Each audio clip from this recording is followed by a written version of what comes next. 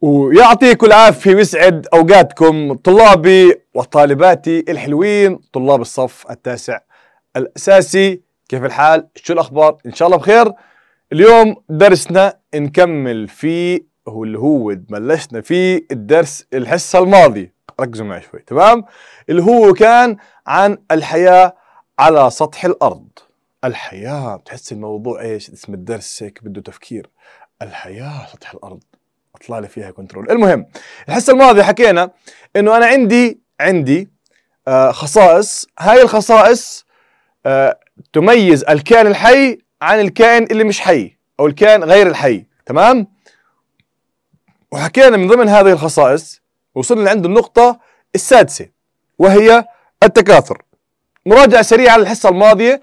عشان نتذكر أنا وياكم من خلال التلخيص اللي مرتب التلخيص الفخم. يا سلام عليك أبو النجار. طيب اذا حكينا إنه عندي خصائص خصائص تشترك فيها الكائنات الحية وهي سبع خصائص عشان يميز كائن حي عن إنه مش كائن حي.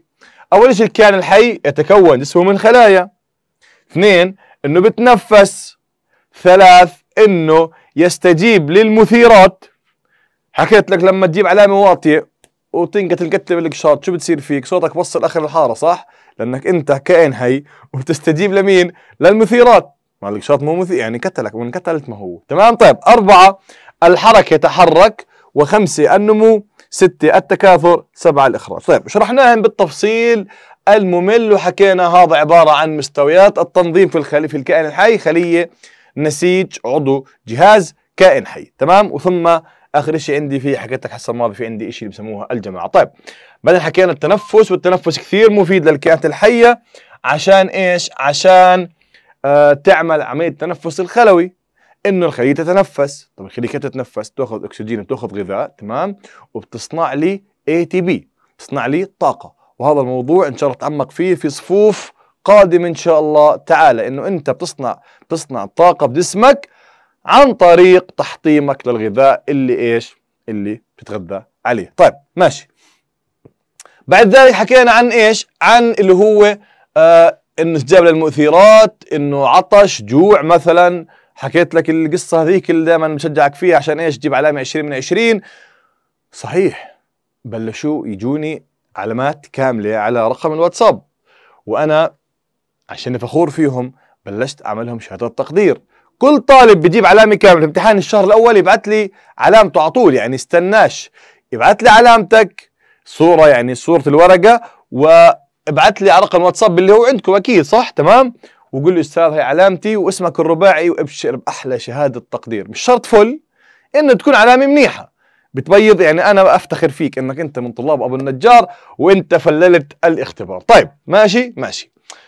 بعدين حكينا إنه في في النبات كمان استجابة للمثيرات إنه في عندي شيء بسموه مثلا انتحاء الضوئي إنه أنا نبته نبتة دوار الشمس تتجه نحو الضوء. بعدين حكينا الحركة وحكينا الحركة ثلاث أنواع حركة انتقالية حركة موضوعية وحركة يسموها حركة السيتوبلازمي. هذا بس مراجعة سريعة إحنا حكينا الحكي هذا تمام؟ طيب. وآخر نقطة أخذناها الحصة الماضية وهي النمو إنه الكائنات الحية تنمو. والعلماء عرفوا النمو إنه عبارة هي كتلة هي هي خلايا أو هي عبارة عن زيادة في مقدار الكتله الجافة. حكينا الكتله الجافة هي عبارة كتله جسم بدون وجود إيش؟ السوائل. يعني أنا بجيب كائن حي بجيب إنسان وبحطه في الفرن تمام؟ بنجف بنجفه بجففه وببخر منه المي فبيطلع عنده كتله جافه طيب هذا زي مراجعة سريعة عشان إيش؟ عشان نفوت في مود الحصة. اليوم موضوعنا حبايبي عن النقطة السادسة وهي التكاثر. الكائنات الحية تتكاثر. طب خلينا نشوف شو بيحكينا عن النقطة هاي. بيحكينا في التكاثر للكائنات الحية قدرة على التكاثر. طيب شو التكاثر؟ إنه إنتاج إيش؟ إنتاج أفراد أفراد جديدة. إنتاج أفراد جديدة. طيب ما يحافظ أيوه ما أهمية التكاثر للكائنات الحية؟ بتقول أستاذ الحفاظ على بقاء إيش؟ أنواعهم. يعني نفرض مثلا مثلا إنه ما في ما في تكاثر عند الكائنات الحية. بالتالي راح تنقرض. مثلا إنسان فيش تكاثر فيه كان انقرض. يعني خلص مش بشر مش إنسان. البسه الفار أي نبات يجب يجب على الكائن الحي إنه يتكاثر. ليش؟ عشان يحافظ على بقاء إيش؟ نوعها. أي كائن حي مثلا بتكاثرش أو مش أو عنده مشكلة في التكاثر. ممكن إنه يكون مهدد بالانقراض. لذلك ممكن في دول معينة بتعمل لي محميات زي مثلا بالأردن محمية ضانا تمام؟ طيب. يصنف التكاثر إلى نوعين. التكاثر له كم نوع؟ نوعين. تكاثر يسمى التكاثر الجنسي والتكاثر يسمى التكاثر اللا جنسي وهذا الحكي راح نتعمق فيه إن شاء الله في صفوف قادمة. فالتكاثر الجنسي والتكاثر إيش بسميه؟ التكاثر اللا جنسي طيب شو الفرق بينهم؟ الفرق بينهم كالتالي. التكاثر الجنسي يحصل عن طريق الجاميتات. إذا بحكينا هان الذي ينتج منه أفراد يرثون الصفات من كلا الأبوين. تمام؟ أما التكاثر بحكي لنا الجنسي الذي يقتصر على الكائن حي واحد وينتج منه أفراد متماثل أو يماثلونه في الصفات الوراثية. يعني خلينا نشرحها بس على السريع على جنب هيك تعالوا معي. طيب. عشان أنتم مرت معكم أنتم صغار لكن على السريع خلينا نشرحها حبايبي. فالتكاثر الجنسي التكاثر التكاثر الجنسي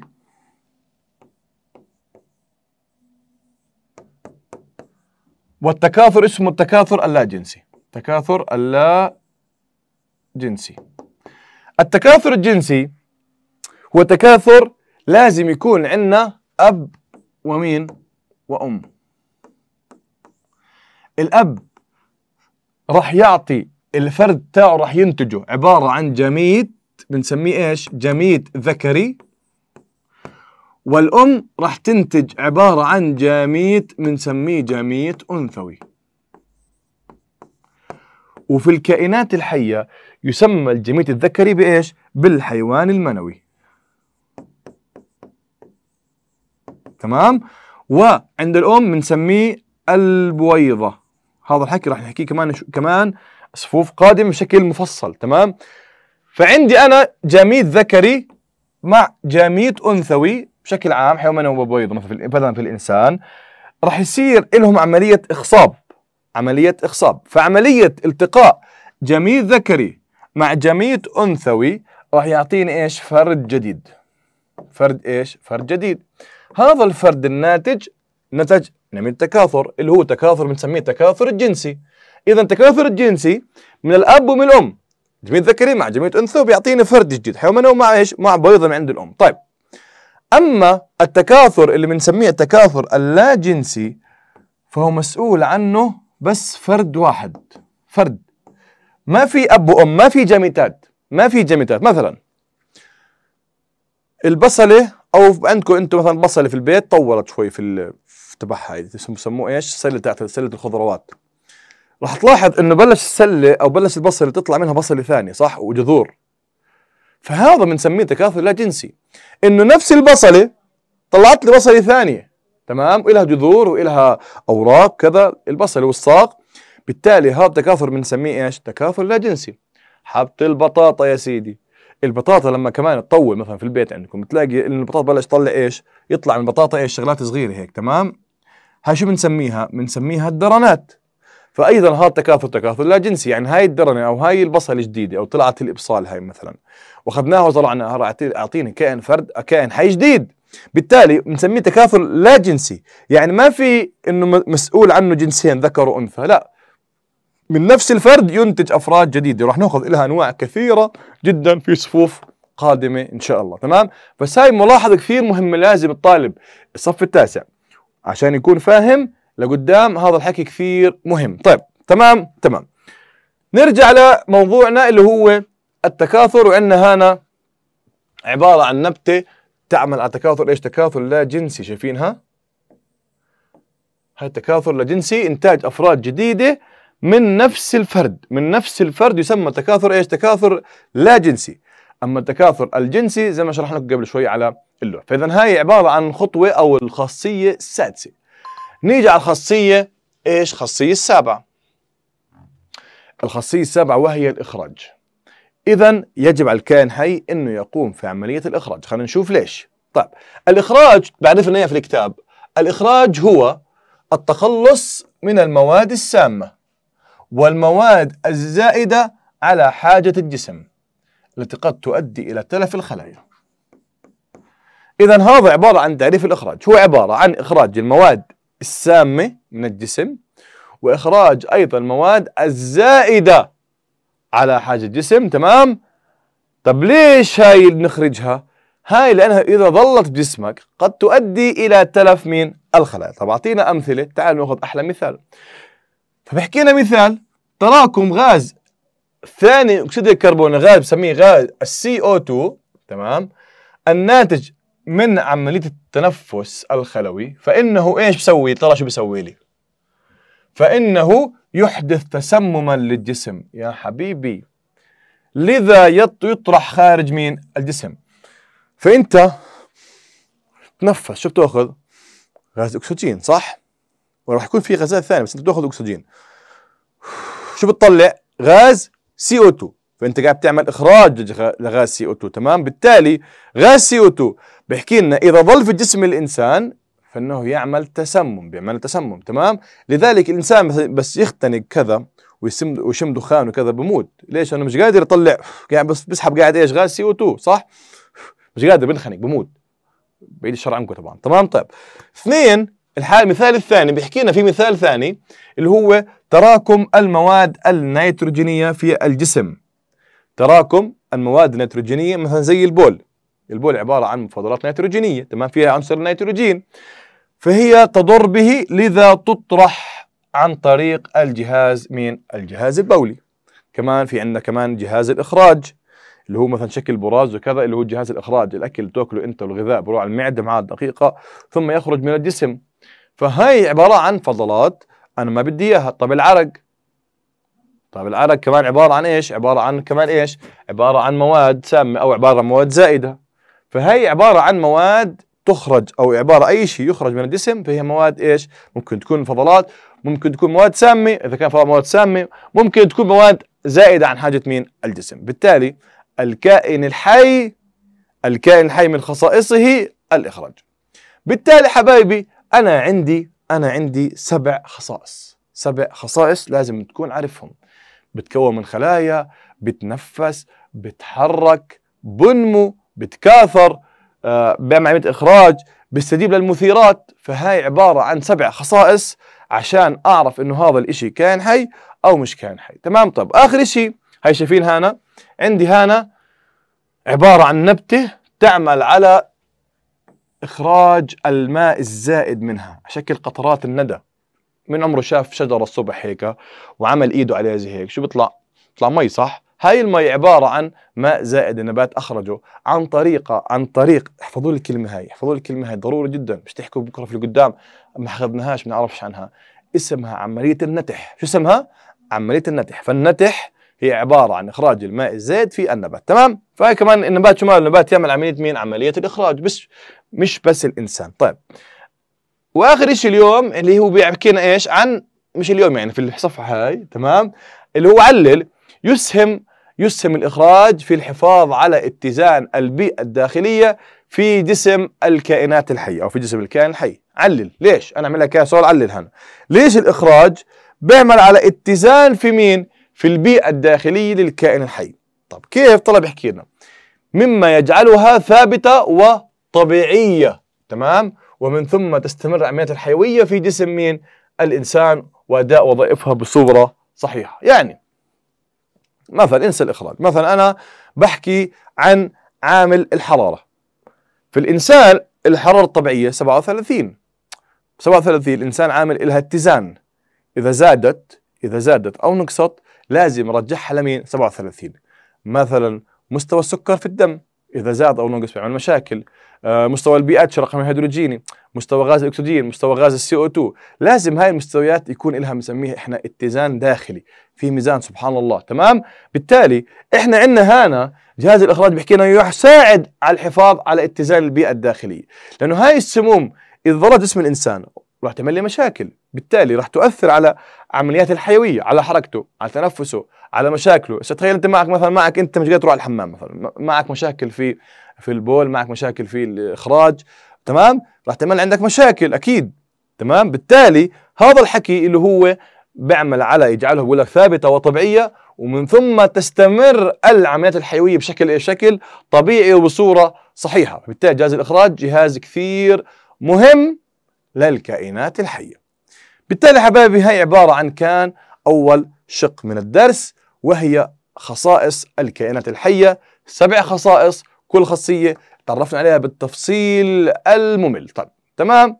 دن دن. طيب بعد ذلك رح نيجي نتعرف على إيش أصدقائي. أيوه بالضبط خربش. يلا خربش خربش خربش. هذيك شو اسمها؟ بربس بر... مش عارف المهم؟ طيب عندنا هنا أتحقق يلا تحققوا معي. معطينا هنا بيئة بيئة مائية.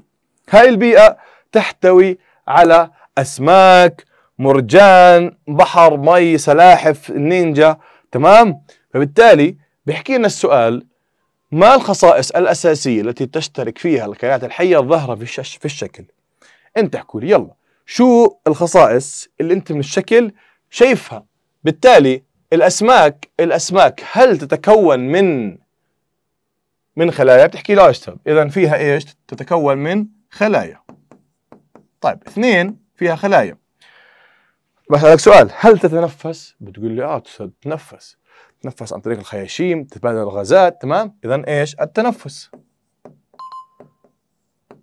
ثلاث تحكي لي أستاذ هل هذا الكائن حي؟ السمك بتحرك؟ بتقول لي آه بتحرك. طب لو سألتكم سؤال السمك شو حركته؟ بتقول حركة انتقالية. طيب المرجان مثلا في مرجان هنا شو بتحرك؟ بتقول أستاذ بتحرك. آه بس بده حركة موضوعية مثلا. تمام؟ بالتالي في حكي أنواع في الحركه فإذا عندي كمان رقم ثلاث مين الحركة. طيب أربعة. هل يستجيب هذه الكائنات الحية للمثيرات؟ بحكي له آه يا أستاذ مثلا اجى عليها مثلا عدو كذا ضوء مي. هل تستجيب ولا لا؟ أكيد راح تستجيب. بالتالي الاستجابة لمين؟ الاستجابة للمثيرات طيب كمان خمسة مثلا آجي أحكي لك هل السمكة هذا بنمو؟ يعني السمكة هاي نفس السمكة هاي تقول أستاذ لا هاي كبرت ودرست وراحت على المدرسة وكبرت صار فيها نمو صح؟ فبالتالي النمو تنمو طيب ستة أسألك سؤال هل هذه الأسماك تتكاثر؟ تحكي له هسه في سمك صغير كذا بيتجوزن وبولدن وكذا في عندي إيش؟ التكاثر واللي عنده حوض سمك في البيت بيعرف الحكي إنه السمك شو ماله؟ سمك بتكاثر. طيب سبعة هل الأسماك تعمل عملية إخراج؟ للفضلات تحكي له آه أستاذ والله عندنا حوض سمك تنهار السمك إيش؟ بخرج. تمام؟ فبالتالي سبعة الإخراج.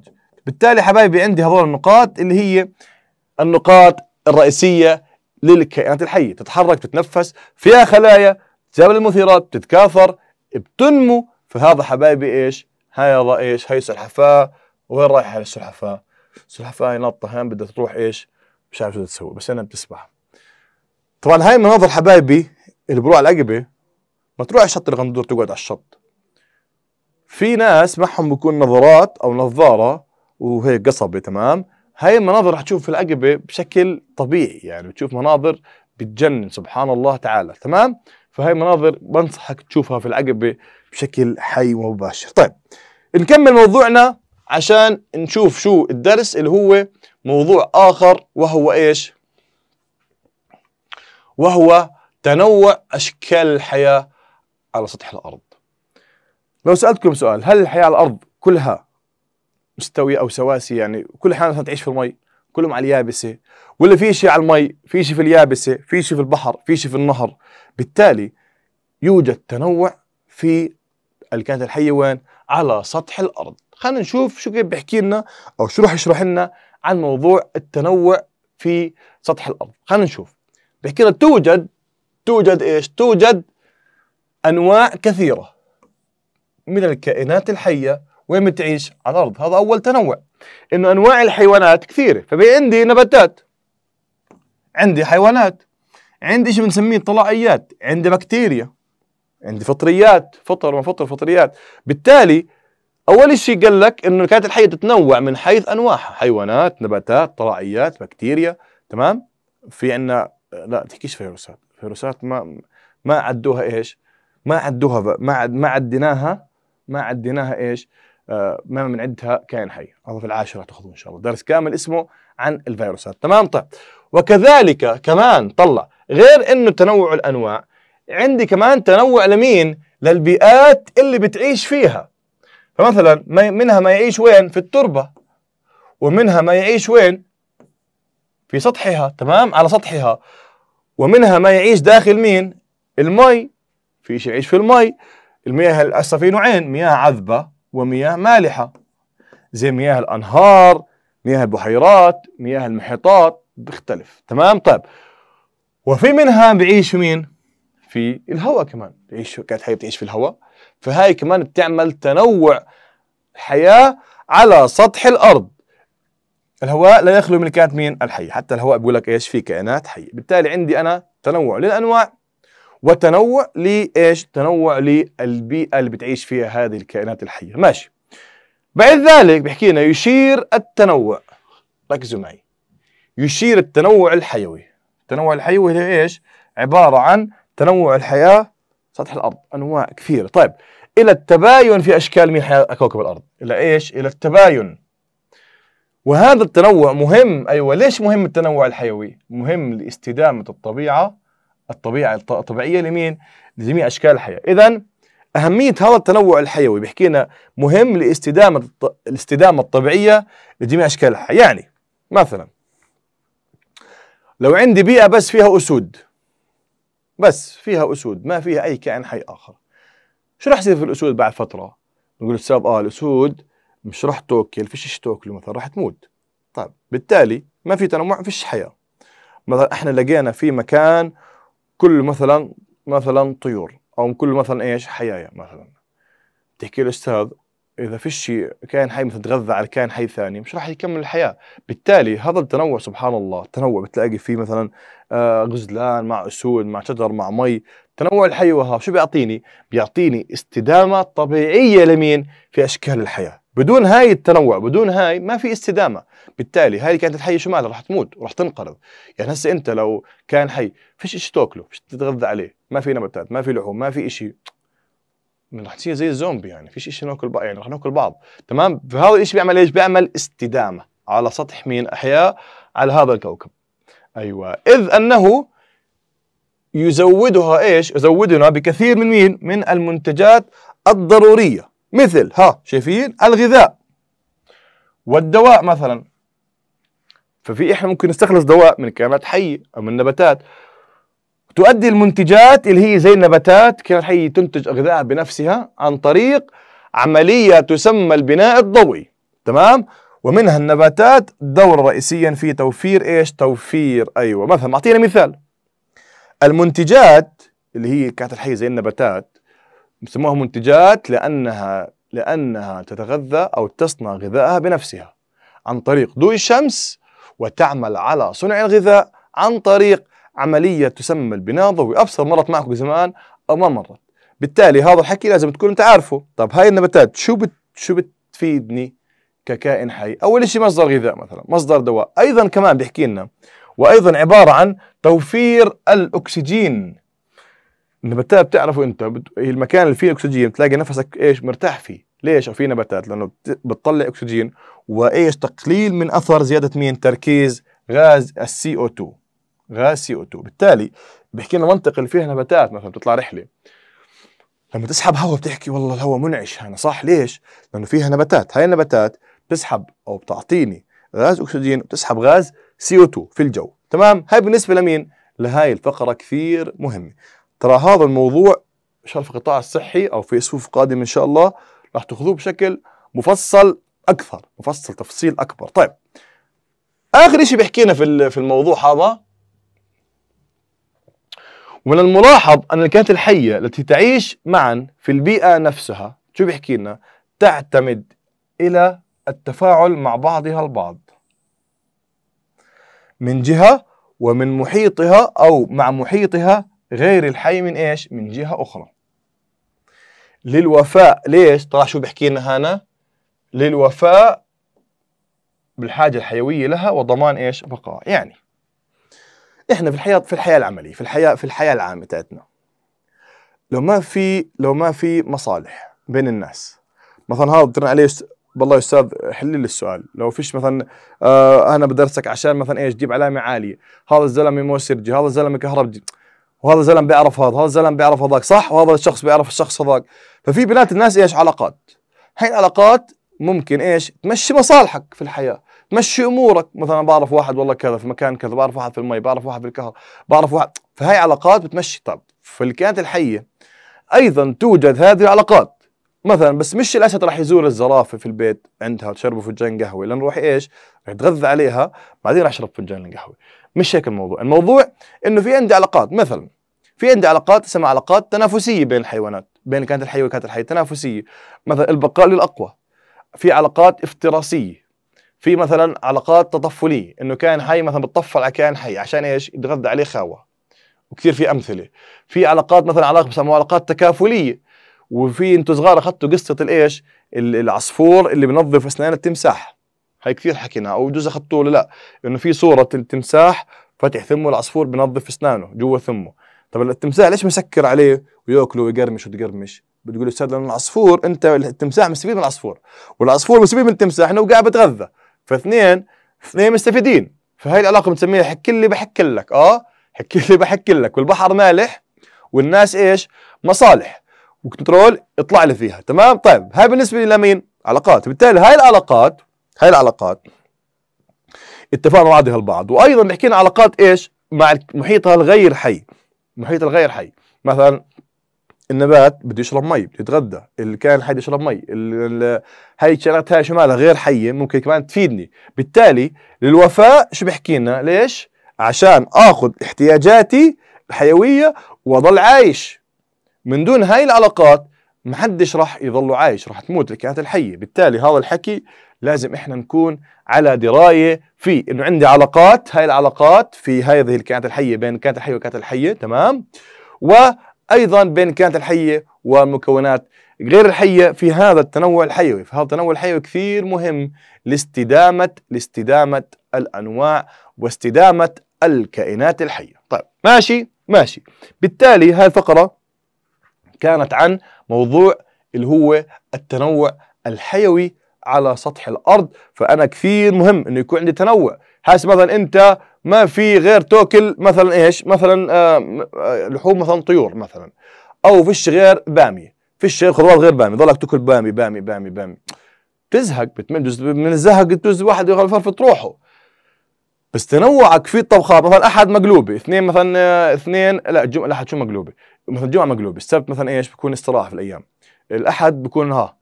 يعني أنت الأيام كيف الحج بتعمل في بتعمل الطبيخ مثلا أحد مقلوبة اثنين بامي ثلاثة فازيلا كذا. الأسبوع الجاي بيقلبن بصير البامي قبل المقلوبة بصير البازيلا بعد إيش؟ بعد البامي هيك النظام عند الأمهات. تمام؟ بيجي مثلا السمك. بيجي طبخه سمك مثلا طبخة السمك هي مثلا إيه مرة في الأسبوع مثلا أو مرتين في الأسبوع. هسه تقلب إيش؟ تنتقل تعمل شيفت. فهيك نظام إيش؟ تنوع تنوع الطبيخ عند مين؟ عند الأمهات. هيك الأمور. فهذا التنوع مفيد لك. يعني أنت كل يوم تأكل قاعد كل يوم تفطر قاعد لبن وسن لبن وسن لبن وسن. تقول لك مشان الله. زقت اللبن مشان الله. فلازم يكون في تنوع في الكائنات الحية أو في هذه البيئة. كيف المثال؟ مثال مرتب عشان إيش؟ عشان تفهموا. حس حالي حكيت كثير. صح؟ ماشي. خلص. المهم آه فهذا عبارة عن إيش؟ بحكي لنا حيوان اسمه حيوان السلمندر شكله زي السحلية بس إيش؟ السحلية مبقعة. تمام؟ السلمندر بحكي لنا هان تنوع حيوي شايفين؟ في غابة يظهر فيه أو فيها السلمندر الناري المرقط اسمه السلمندر الناري المرقط هذا. في عليه ترقيط. هذا عبارة إيش؟ السلمندر هاي السلمندر شو ماله السلمندر المرقط طيب تمام؟ على فطر. على إيش؟ على فطر. وتحيط به أنواع من مختلفة من النباتات. فهذا عبارة عن تنوع حيوي. هي تنوع حيوي. نباتات حيوانات في عندي فطر في عندي كذا. فهي عبارة عن تنوع حيوي وهذا السلمندر إيش؟ شاطر كثير. طيب تمام حبايبي؟ تمام يا أستاذ. قد صرنا بالحصه زمان صرنا ولا لا؟ طولنا عليكم. استحملونا. طيب الحصة إن شاء الله إيش؟ نص ساعة يعني. نص ساعة. قد ضل الدرس؟